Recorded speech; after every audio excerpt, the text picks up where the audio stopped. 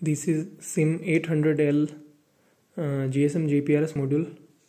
We are using a sim module to send the data from here to google sheet using gprs we are not using the wi-fi.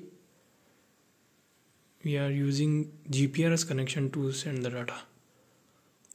253 253 these are the commands.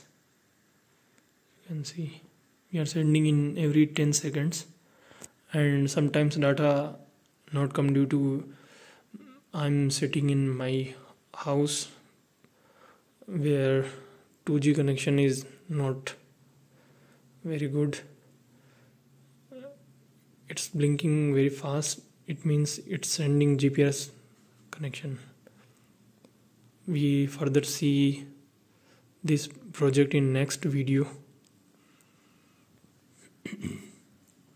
To on off the relay 1234 from google sheet directly.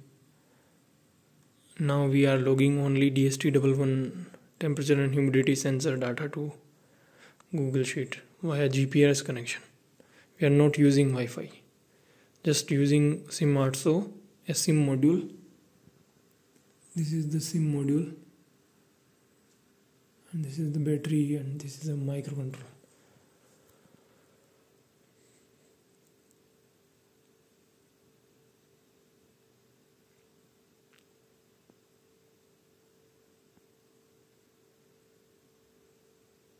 This is the whole project. Okay thank you